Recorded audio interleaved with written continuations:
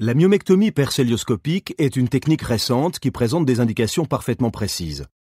Elle peut être envisagée pour des myomes sous-séreux ou interstitiels de moins de 8 à 10 cm de diamètre.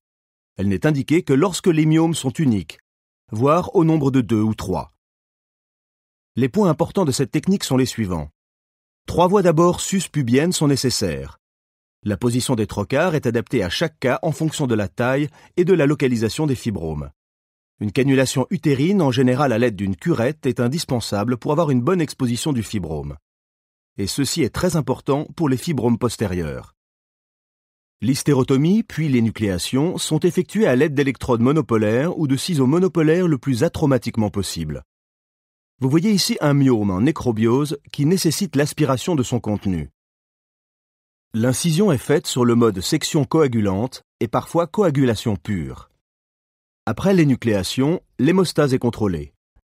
Cette hémostase est fondamentale. Il reste le problème de la suture utérine. Celle-ci est indispensable lorsque l'hystérotomie intéresse le myomètre. Elle prévient la constitution d'un hématome intramural et facilite la cicatrisation utérine.